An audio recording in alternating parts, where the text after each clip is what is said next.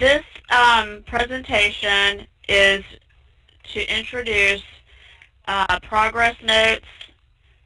That's that's what we called it. It's, it's activities really, but progress notes um, in, in ADIDIS. So we've added a function where case managers can go into the system and they can add a progress note or slash activity and they have the ability to enter a session note or note and record um, as many activities on a, on a particular person as you need.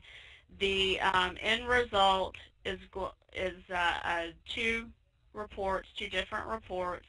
One report will pull um, information based on uh, start and end date that includes demographic information and how many units of services, of case management services were provided.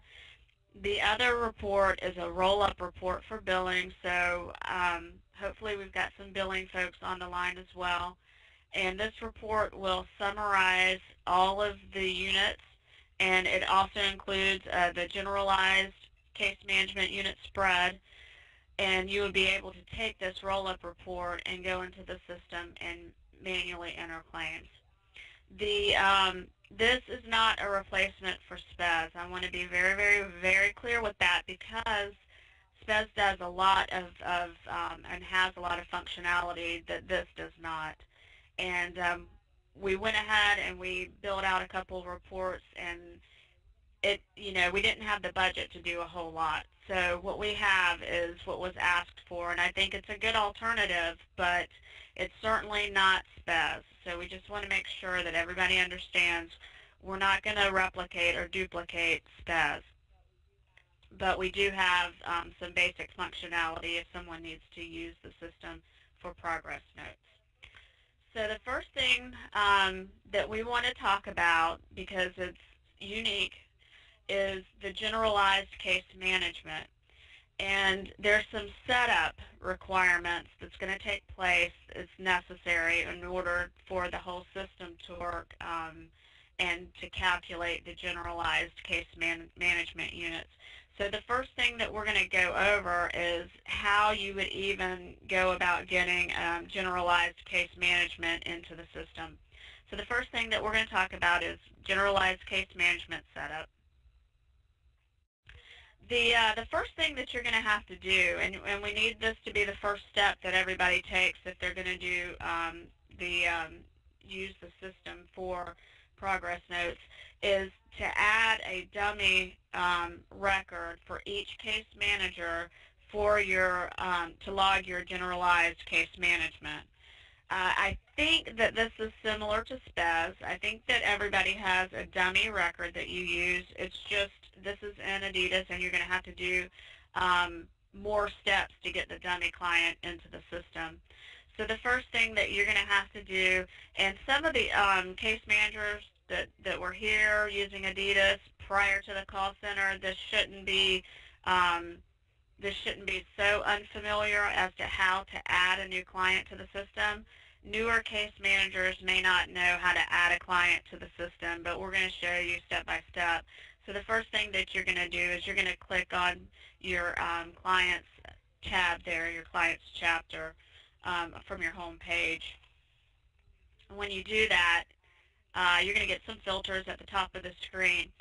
The, um, the configuration on my screenshots is a little bit different from the case management and the case management supervisor roles. So when you do, when you click on um, your client chapter, you're not going to see this first last name filter. Um, you're just going to have a last name filter, and it's okay. It's okay if the configuration isn't identical. Um, what, what's important is the information that's noted.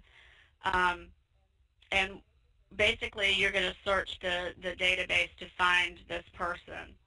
Um, note in red the way that we want everyone to set their uh, dummy client up we want you to use or start off with the last name of general, then hyphen, and the case manager's last name, so your last name. In the example, it's um, general hyphen Rosales, and then you see my first name is Daphne. So each case manager should have a client set up this way. The next thing that you're going to do is um, add new client if you don't see a record appear, and no one should have a record, so going to add new client. And you're going to come up, you're going to have additional filters. Um, another configuration change that we made is removing this first fund code um, filter. So when you see the, uh, the, the information, you're not going to have to worry about entering a fund code. You're going to go straight to last name. So go ahead and enter all the information as shown. You're going to enter the general hyphen, your last name, your first name. Go ahead and use your date of birth, or you can use a dummy date of birth. It really doesn't matter, but it's a required field, so you need to enter something there. And in the Social Security field, um, enter all nines. You're going to search again. You should get no records, and then you can click Add New. The information is going to feed over into the demographic screen. Okay. The, um, the demographic screen also has some required fields that need to be, um, uh, you need to have information in.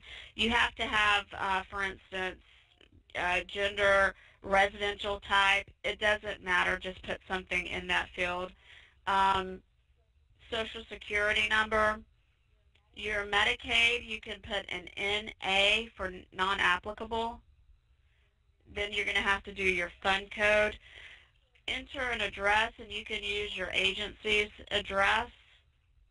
And um, when you enter the county, the, res the region of residence, and the fiscal region, they're going to automatically to default to whatever county is associated to that region. So just go ahead and click um, the default region. And then you're going to save and close that information. When you save and close, it's going to take you to the Open tab. What you need to do here is um, change that pending Open to ADIDIS to Open. Now there's a note in here that says that um, you need to change the open to ADIDIS date um, because that open date can't be uh, or needs to be, sorry, um, prior to the authorization. You don't have the ability to change the open to ADIDIS date. That's a read-only field. But I don't think that this is going to be a problem, and we'll talk about authorizations and why, why that's mentioned in just a minute. I don't think this is going to be a problem because I don't think that anybody is going to go in and do notes retrospectively. I could be wrong, and if I am wrong and this becomes a problem, just shoot us an email and we can quickly go in and um, update the Open to ADIDIS date. So you're just going to switch your open from pending to um, open and you're going to save and close. Now what I'm pretty sure happens, um, and it's not uh, in a screenshot here, is that you'll get a workflow wizard. And when you get that workflow wizard, it's for program enrollment, you're going to want to close out of it. And you can simply cancel it by clicking the arrow and dropping down and canceling that workflow, and then you close out of the um, page. Once you do that, then you can see your screen as it's shown um, on the presentation, and you're going to click Enrollments. Again, there's some configuration differences. I'm sorry. You're going to click Enrollments and Add Enrollment. Um, once you get to that screen, the enrollment screen, there's a little bit of configuration differences between what we see and what you guys see. Um, you'll do a fund code. There won't be a CO referral date for you to enter, so you don't have to worry about that field. The, um, the provider, you need to identify the provider. Disposition should be open. Your case manager name should automatically default. And um, your enrollment date, which can be today's date, so you can enter that information. Once you have um, once you have completed uh, this this record, that's all you need to do in order to make this record active is have that open enrollment record. once you've done that, the fiscal managers of each region, they need to have a list of all of these general um, dummy records sent to them because they have to create an authorization for them. That is different, and it really has no bearing on billing. Um, please don't be worried about that. But in order to make the report work, in order to make this um, economical and to make this work, the, um, the quickest workaround for capturing generalized case management is through an authorization. So once all your case managers um, create dummy records, please send a list in, in an Excel spreadsheet with the names and the case numbers um, and of course your provider agency name. Send that information to your fiscal manager and they will set up authorizations for this fiscal year for generalized case management. So the next step, once you have the, um, the generalized case management um, dummy record established, um, and you, you're pretty much good to go in terms of the system being able to capture those units. Um, we're going to move on to entering progress notes. Progress notes I believe are very similar to SPES in that you can only enter and should only enter one activity or one progress note per session. The system will appear like you could add multiple lines of, of time, but you shouldn't. You should have one line of time to one session note in order for everything to work. So just please be cautious of that. All right, so if you're wanting to enter a progress note, um, you go to the Progress Notes tab, and then at the very top you'll see Add Prog Progress Notes. Click Add Progress Notes, and the first thing that you're going to see is a start and end time.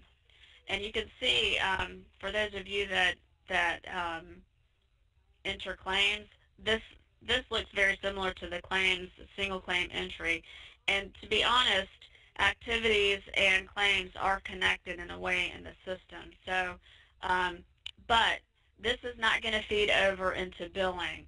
There's no link from from your um, creating your activities or your progress notes here to automatically um, billing. That there's not a link, and that's why we had to create you reports.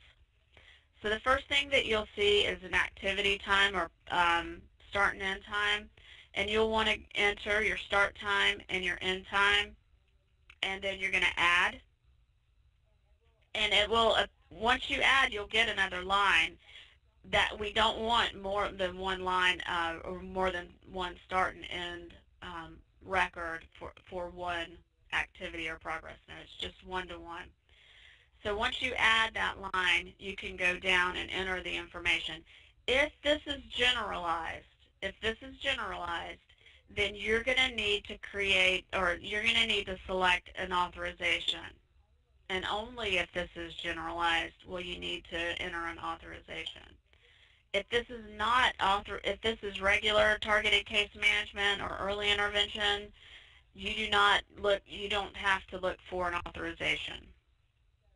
So if you're doing generalized, I think that this, this is going to show you if you were doing generalized case management, you would click on the ellipsis button and you would search for the authorization and it would look like this. Okay? So, and you can see that it's, um, it actually doesn't tell you what the service is here. And we may or may not be able to configure that so that it does. At any rate, you're going to get one option for general for that authorization, um, at least right now. We'll try and build in filters so that you're not having to see multiple um, lines of authorization because this will be copied forward and each fiscal year you'll have an, a, a, new authorization for your dummy um, or for your generalized case management. So you select the uh, appropriate authorization line and the authorization number will populate, and that's going to help drive um, the uh, calculations on the reports. The next step is to enter your act activity details. You're going to have to enter a fund code. You're going to enter your case management agency, worker name, location, and contact type. Location, I, I think that we gave you two choices, 55, um, I think it's office, and 99, which is other. And um, on your contact type drop down, we included all of the all of the varying different contacts that was in SPES. So on this example, we enter generalized case management outreach.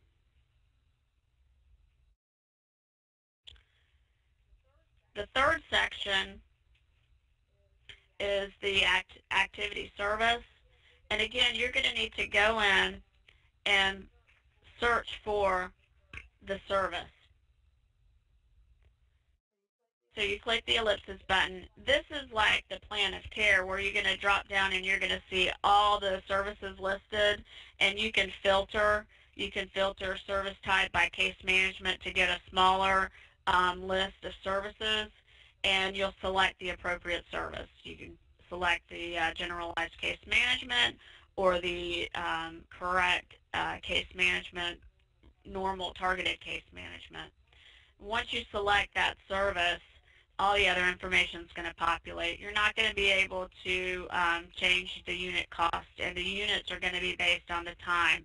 Now, if you've made a mistake with your time, you can certainly go in and update that time, and the system's going to refresh, and you should see that the units change and the calculation changes. Once you've completed that, um, you can save and close this progress um, or this activity. And the system, once you do that, um, the system is going to, once you save and close, you'll close and you'll see a record. And there's not a screenshot here, it's missing, but it'll close out of this screen and you'll have one record if you click on that record, then what it'll do is open, open up and give you the ability to add a session note. So you do have to save and close and click back in to add a session note. And that's, that's not smooth exactly. Um, it does add several more steps, but um, that's the, the way the system works. I don't think that we could uh, configure that to change. Once you add a session note, um, the system is going to ask you to select a session note or select a type. There's only one type. It's the TCM progress note. When you select that, then you'll see um, the second section there where you have a start end time, a date of service, um, a field for case management signature, and progress notes. None of this information is required.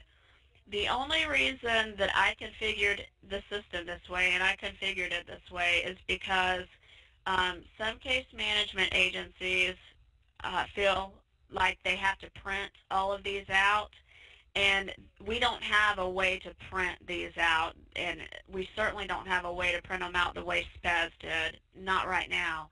Um, we could in the future possibly get Harmony to create a report um, that would report like SPES or similar to SPES, but that would cost additional money, and we don't have it right now. So for the purposes of printing, um, there's a start in time that you can put in, date of service, and once you print the uh, the web page, then you've got a field for signatures, um, case manager signature. If you have no desire to print, then don't worry about those um, the information because you already have the information um, when you when you created the initial progress note activity. So it's it's completely up to the case management agency as to whether they want to enter this information or not. Um, the progress note, though, this, this is where everyone uh, would be um, adding their information. So the progress note field gives you the ability to add the information and uh, I think there's enough room there to meet everybody's needs. So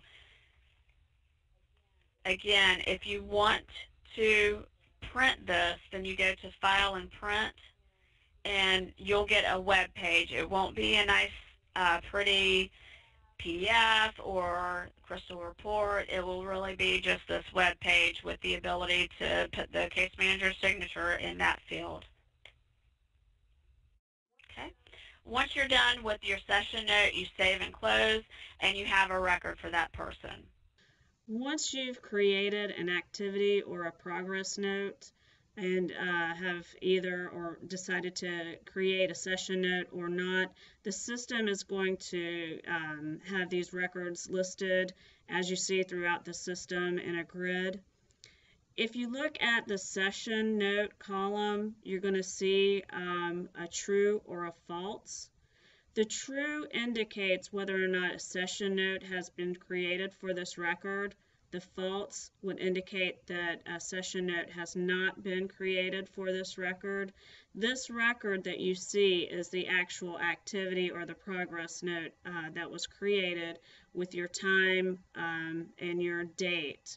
The session note is the notes that you entered regarding um, what kind of activities you had occurred for this person. The next slide that I'm going to try and take you to, just one second.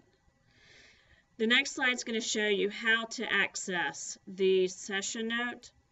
If you have a session note and the session note says true, then if you go to the other end of the record, the flyout menu is what we call it, you'll have three options. You'll have an edit option, edit to the progress note, which is this activity record. You're going to have an activity, or an, I'm sorry, an edit note, which is the, to edit the session note. And you also have the ability to duplicate the progress note. So what you see is the ability to edit the progress note, um, which is the activity record here. And you can also duplicate this progress note or this activity note. And in the middle, you have the ability to edit the session note, which is probably what you'd be more interested in doing. If you don't have a session note and the session um, the uh, session note exists as false, then you have four options um, on your flyout menu. You have the ability to add a note, so you can go in on your flyout menu once you've created an activity. You can go back and you, on the flyout menu you can add a session note, and it'll take you to that session note um, screen. You can edit again the uh, progress note or this, this activity record. You can delete this activity record or this progress note, or you can duplicate this progress note. So in terms of adding a session note when um, there is not one existing already, the option on the flyout menu, Add Note, is the quickest way to go um, to create your new session note.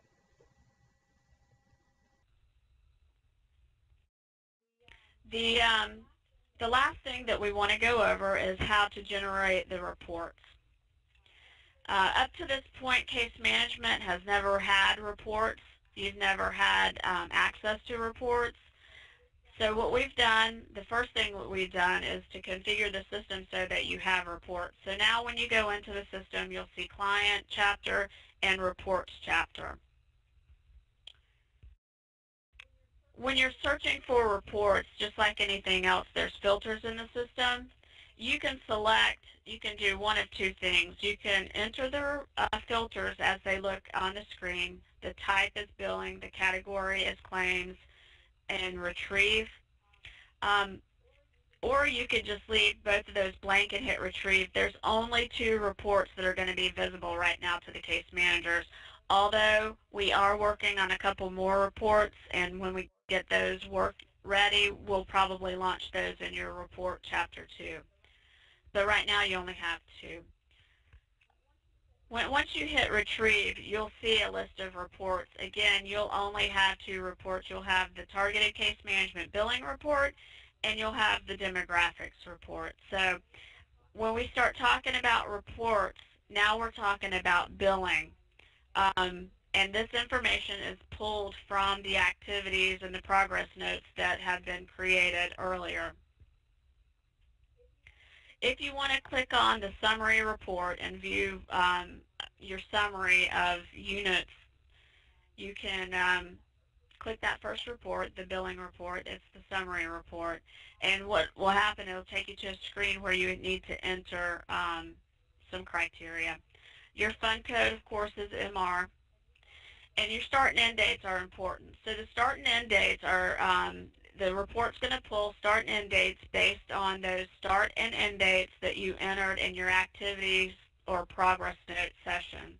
So if you went in and you added um, activities for 10 people plus generalized um, in the span of or during uh, September on the 15th through the 16th, this report, based on the criteria, the start and end date, would pull that information. Okay, so you're just going to enter uh, criteria as to how what dates you want to pull into this report.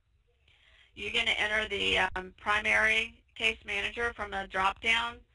The, um, the way that the progress notes work is the primary um, case manager is assumed to be the, the, per, the open-close record, and then it'll give you an option to enter another case manager um, name if someone else worked on the record. This is um, hopefully similar to the way SPES worked in that Another case manager can work with a person and can enter progress notes on a person, um, but when we're talking about generalized case management, any kind of case management that um, the primary uh, case manager did will be applicable. If someone as a secondary um, case manager worked with a person, any kind of generalized case management would not be um, applied to that particular uh, worker and that record associated to that worker. Okay, the, pro um, the provider needs to be selected and then you view the report. And then what you're going to see is a summary report. Basically, it's going to pull down all the direct units that were provided. If you had generalized units, you're not going to see your dummy generalized um, record listed.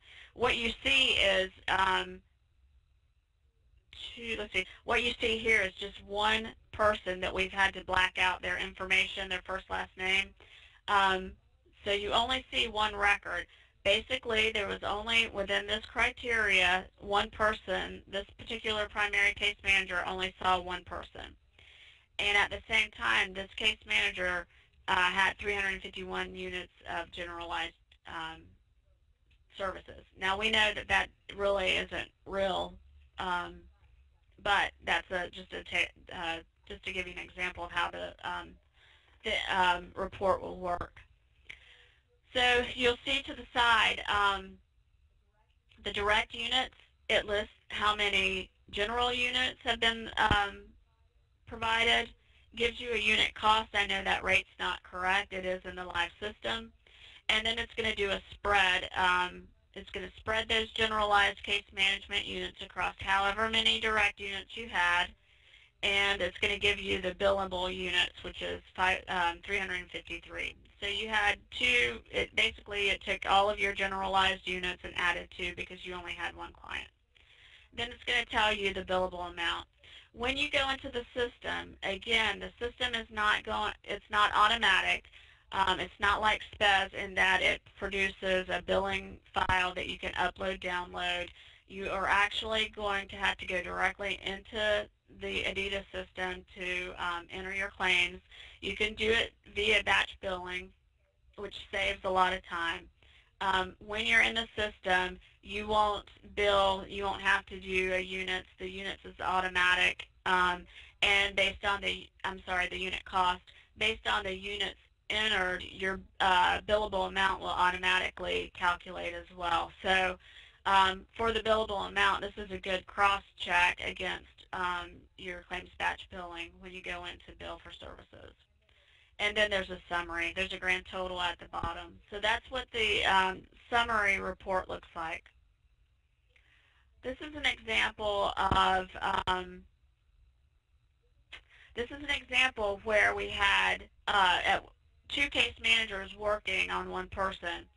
and you can see that there's generalized case management that's been provided, but over to um, in the generalized share, you'll see a zero.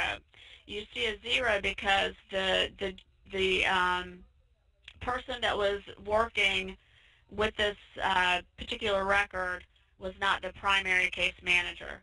And so that generalized case management is not going to be spread um, to that particular person. You can see um, also, this is an example of how the system is going to take one and break it in half where you're going to have um, a rounding um, issue. It's going to highlight in yellow any kind of rounding um, issues where it's going to take, if I had to split a generalized, one generalized unit in half and I have a 0.5 for each person, what the system is going, going to do is round each generalized unit up so that so that um, a half becomes a whole for each person. So that's a rounding issue that you may want to go back into your billing system and round down for a person. If you have, um, if you generate a report and you've got this yellow highlight, that's indicating that they have rounded up and they've rounded up for multiple people and what it's going to do is create additional units that you may want to go in and redistribute or um, roll down instead of, I mean, round down instead of up. So I think that we discussed this. I'm, I'm sure that we discussed this with some of the folks that we um, used as um, SPES experts, and the indication was that they that the rounding has always been an issue, and so, and that that's handled manually. So we're going to continue to allow that to be handled manually. The, um, the other report, just getting back to the other report, which is the demographics report, basically it gives you all of the information that was provided um, over here. It's not going to give you any kind of summary. It really is back-end data and it gives you demographic information. It was a request from another case management agency so that they could get demographic information in a report for their whole caseload. Um, gives you first, last name, date of birth, Medicaid number, gives you that kind of demographic information. Okay, so that's the end of the um, the webinar wanted to keep it short because these things can be really dry um, and it's a lot of information. My recommendation is for anyone interested in using um, the progress notes that you go into the test site first and practice there. The test site um, should be available to everyone and your your password should work, your live password should work with your test site. Um, if it doesn't, just contact us. We'll try and set you up with a, um, a usable password. But I think that it would be best to practice before you get into the live site and start adding progress notes. Um, the um, the generalized dummy record that can be you can go ahead and set that up in live. I don't think that that would be a problem, but you just may want to look at the system before you go in and start adding progress notes. Again, we have two people as points of contact. Um, again, Deborah Flory is going to be your contact for early intervention. And her number is area code 334-353-3283. And our ID um, DD users, Deborah Moloch, area code 334-353-5006. I know that there's probably a lot of questions. As you get your questions, um, send, shoot them uh, an email to me or, or to Deborah, and we'll try to answer your questions best we can. Uh, I think that it would be useful, again, to go into test. That way, if you uh, run into problems, then you, you can shoot us a question rather than going into live system.